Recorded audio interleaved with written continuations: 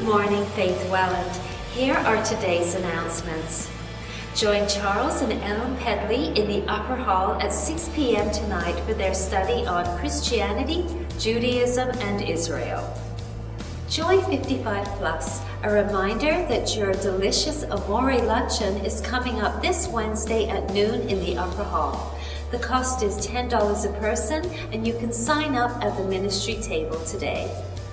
Our senior youth will be leaving the church at 6.30 p.m. this Friday to go to a youth rally in Dunnville. They will be returning at 11 p.m.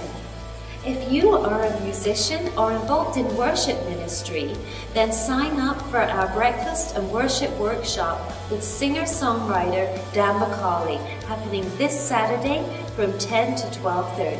The cost is $5 a person and you can sign up at the ministry table today.